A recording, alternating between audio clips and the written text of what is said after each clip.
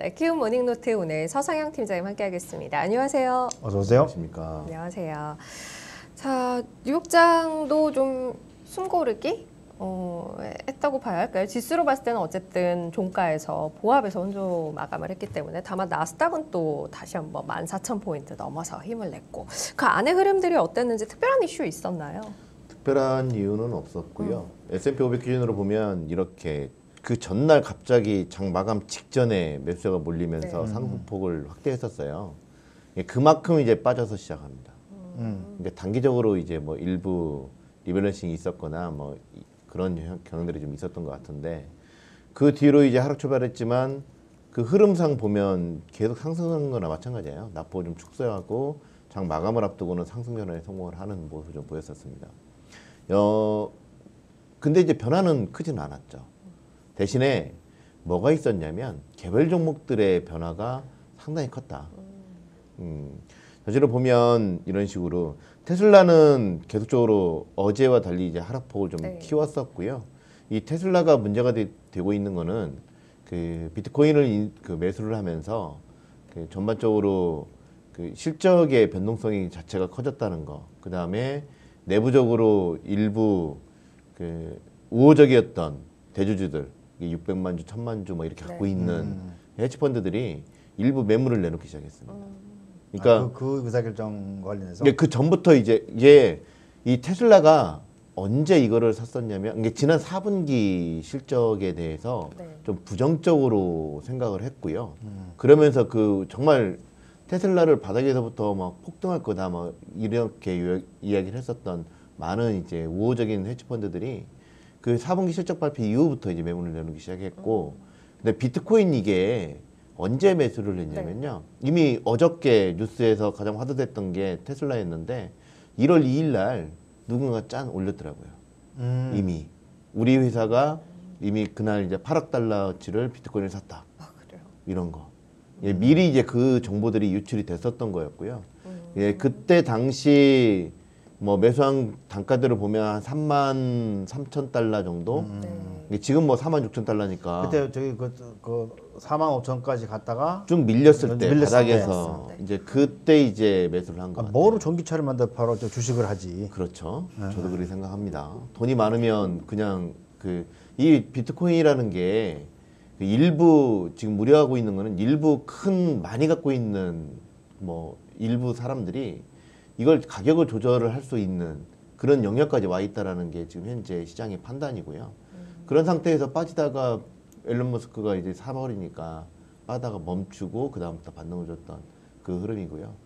이제 그런 것들, 예, 그- 물론 이제 지금 3만 3천 달러에서 4만 6천 달러면 만 달러 이상 벌었으니까 상당히 괜찮았죠. 근데 이런 식의 변동성 확대는 헤지펀드들한테는 별로 안 좋은 거예요. 아, 왜냐면. 예. 그 기업 가치를 판단을 하고 그 상황에서 전체적으로 나와야 줘야 되는 건데 이게 어디로 뜰지 모르는 변동성이 큰 상품에 투자한다는 것 자체는 그렇게 이제 좋은 모습을 안 보이거든요. 우리 이제 회계적으로 보면 사실 영업이익을 굉장히 저 중요시 보는 영업이익이라고 하는 것은 이제 본업으로부터 발생하는 이익인데 근데 이거는 이제 영업의 수익이 되는, 되는 거니까 그렇죠. 영업의 수익이 움직이게 되면 이게 이게 웹도독이 되는 거예요 실적이 그렇죠. 이런 경우는 제가 볼 때는 어, 위험해요. 그래서 이제 테슬라의 우호적이었던 헤지펀드들이 어제 같은 경우는 이렇게 구매를 하게 만들었던 그 흐름에 대해서 왜 이렇게 매수를 했는지에 대해서 당장 우리한테 얘기를 해라. 얘기했잖아요 했고요. 어- 언론에 대놓고. 그러니까 이제 뭐 그런 식으로 하는 것보다는 자기들한테 이제 직접적으로 음. 대주주들이니까 600만 주, 뭐 1000만 주 이상씩 갖고 있는 사람들이니까 음. 이제 그런 식의 언급을 했고요. 이제 가장 그 테슬라를 바닥에서부터 끌어 그 지금 수준보다 더 높게 보고 있었던 일부 헤지펀드들이 정리를 하고 있었던. 음. 대신에 이제 테슬라는 그렇게 해서 빠졌지만 비트코인은 4만 6천 달러 우리나라 돈으로 5, 5천만 원이 넘어섰죠. 아침에 5,100만 원짜리 깎아서 갔더라고요. 예. 했어요. 그러면 4만 6천 달러를 넘어 쓰기다 보니까 이 페이팔 그 다음에 뭐 일부 엔비디아 같은 경우는 밀렸고요 차익 매물 때문에 네. 그다음에 페이팔이라든지 일부 그 채굴업체들 이 어제에 의해서 오늘도 뭐 급등을 한 상태이고요.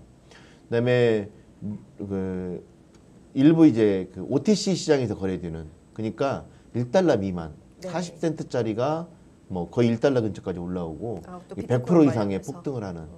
그러니까 저가형으로 막 이제 움직이는 그 수급이 또 그쪽으로 또 쏠리면서 아, 네. 비트코인과 관련된 테마주들이 강세를 보인 점이 특징이었습니다. 음, 네, 또 하나는 어, 보면 금융주들이 좀 밀렸고요. 네. 그다음에 에너지라든지 이런 식으로 레저라든지 뭐 소매 유통업체들 그 전날까지 올라갔던 종목들 있지 않습니까? 반도체도 전날은 많이 올랐는데 음. 그런 종목들 중심으로 해서 매물이 남았고요.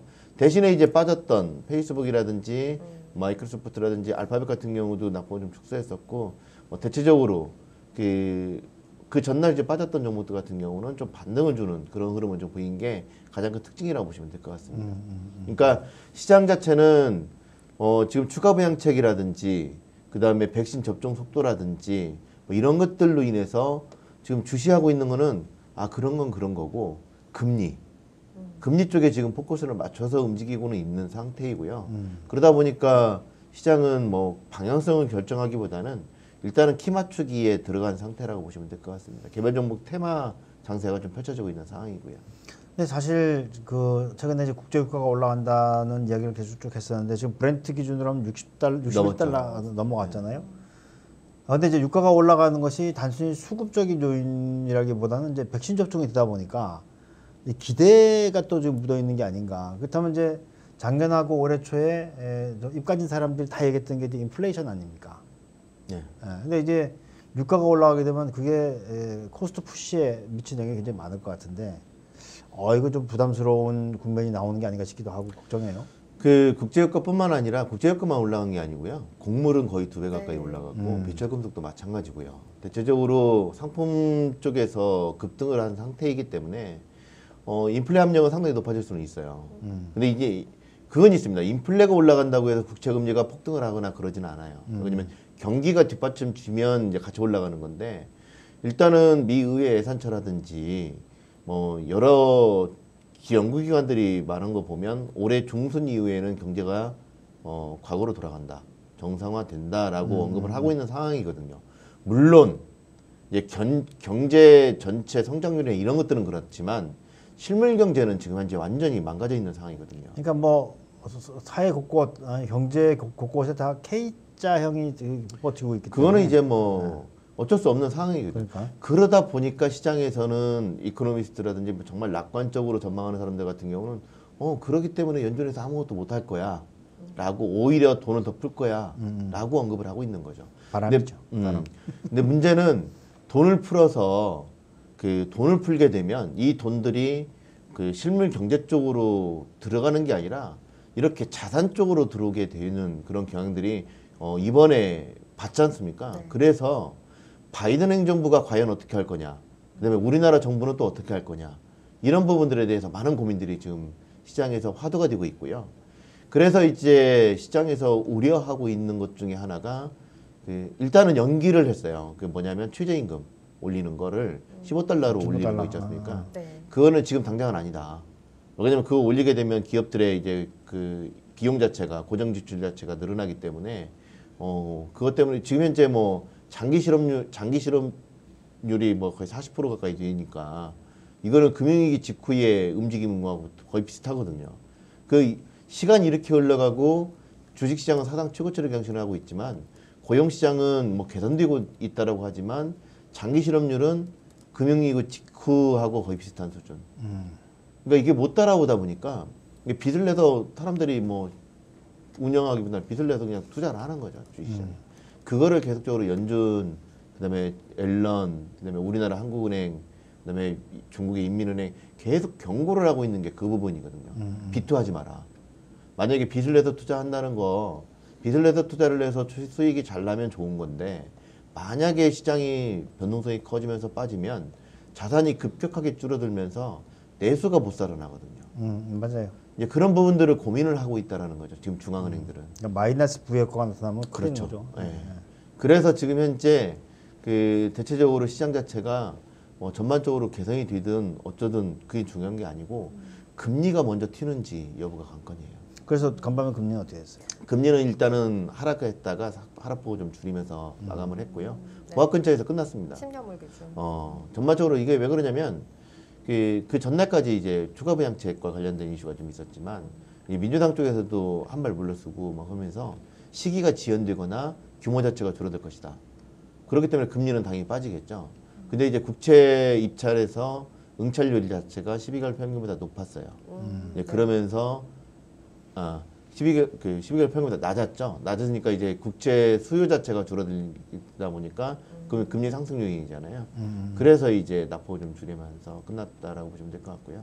이 금리 이슈는 향후에도 계속적으로 움직일 수밖에 없고 특히 2월 말 이후부터는 이 기울기 자체에 포, 포- 네, 초점을 맞춰서 시장이 대응을 하셔야 될 거예요.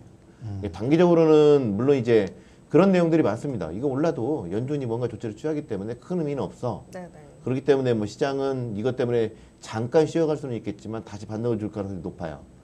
근데 이제 그 뒤로 올해 하반기 이후부터는 이와 관련돼서 조치를 취해도 인플레 압력이 우리가 생각했던 더 빠르게 진행이 돼 버리면 문제가 좀 생길 수 있죠. 그래서 일부 골드만삭스라든지 여타 투자이사들 같은 경우는 그 연준이 지금 현재 2023년도나 돼야 이제 금리를 인상할 거다라고 하는데 테이퍼링은 그보다 더 빨라질 거다. 그래서 올해 연말 정도부터는 그와 관련돼서 논의가 시작된다라는 소식만 나와도 시장은 요동을 칠 거니까 네네. 그때쯤부터는 이제 뭐 좀 조심해야 되는 거 아니냐 이런 식의 내용도 나오고 있고. 그러니까 12월 12월 FMC 끝나고 나왔던 점도표는 우리가 뭐 크게 관심 안 가졌었는데 올 3월에 나오는 점도표는 좀 봐야 될 것 같아요. 그렇죠. 예, 그 과연 이제 인플레이션에 대해서 또 내지는 이제 뭐 경기에 대해서 어떻게 판단하는지 어, 점도표에 다 묻어 나올 테니까 뭐 나머지면 나와서 이야기해봐야 아, 그걸 바탕으로 하는 거니까. 예. 그러게요. 금리 움직이는 속도도 좀 봐야 할 것 같고. 그렇죠. 이게 미국 S&P 500 기준으로 보면 그 배당 수익률이 1.5%예요. 네네. 평균이. 근데 이제 10년물이 1.5%를 넘었으면 주식시장에서 채권 시장으로 넘어가는 거 아닐까 이런 우려들이 좀 부각이 되고 있거든요. 네 네. 근데 참 이런 것만 보면 배당 수익률 가지고 한다는 것 자체는 뭐냐면 주식을 투자한다는 거는 나중에 내가 이 회사의 지분을 가져오고 그 지분만큼 내가 나중에 배당을 받기 위해서 투자를 하는 거잖아요.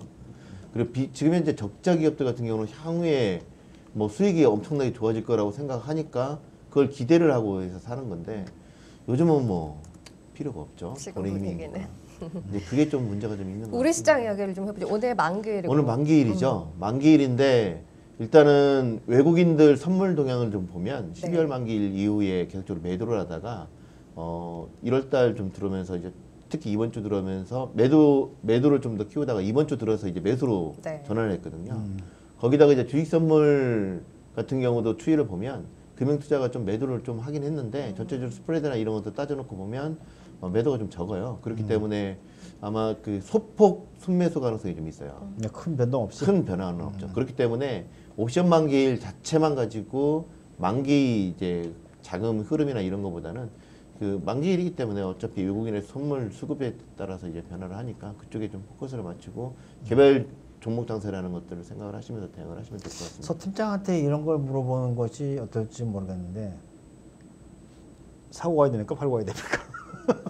저는 좀. 정리를 하고 넘어가자라고 얘기를 하고 네. 있거든요. 정리를 좀 변, 변동 요인이 있어요 우리 쉬는 동안. 일단은 뭐 파월 연주로장 발언들도 좀그 있고 언제? 내일 새벽이요. 네. 어, 발언도 좀 있고 전화해서 우리 쉬니까 지금 연기 좀 하라 하시지. 어, 제가 지금 전화했는데 전화 안 받더라고요. 바쁜가 보네요. 어, 네. 그래가지고 네, 그것도 좀 있고 그 다음에 그 최근 들어서 시장의 움직임 자체가 음. 그 변동성이 좀 커지고 있는 상황이에요 개별 종목들로 음. 그래서 이제 그런 부분들 좀 생각을 해야 될 것 같고 그 다음에 이제 뭐 여러 가지 경제 지표라든지 뭐 이런 것들 그 다음에 최근 들어서 나오고 있는 부분들 그 다음에 뭐 일부 그거는 있습니다 중국의 중국의 이제 춘절 이후에 네. 이제 코로나 확산 여부가 가장 지금 시장에 화두가 되고 있는 상황인데요.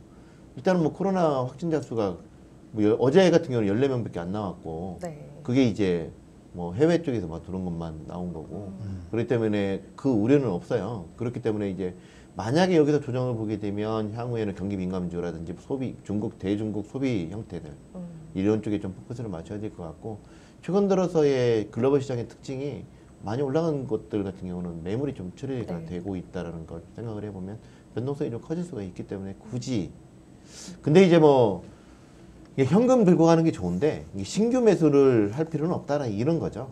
가지고 있는 종목들 같은 경우는 뭐 굳이 여기서 뭐 팔고 넘어갈 필요는 없을 것 같고요. 음. 뭐 내일하고 모레 시장이 뭐 큰 폭의 조정을 만한 이유가 없으니까 뭐 그대로 들고 가시고 나중에 현금 가지고 계신 분들 같은 경우는 뭐 신규 매수하기보다는 그냥 한발 물러서서 좀 휴가를 미리 가셔도 괜찮을 것 같습니다. 휴일 앞두고 굳이 지금 새로 들어갈 필요는 없어 보인다라는 걸로 정리하도록 하죠. 오늘 키움 모닝 노트 서장현 팀장님 함께했습니다. 연휴 잘 보내고 다음 주에 뵐게요.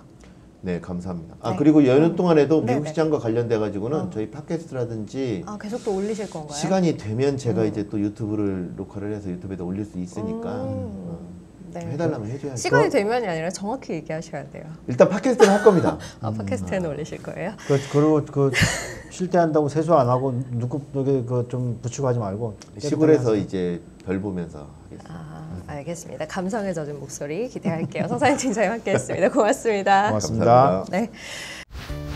네, 선물 옵션 신규 휴면 고객이라면 수수료 최대 90% 할인, 최대 6개월 수수료 할인 받으세요. 투자 시 원금 초과 손실에 유의하세요.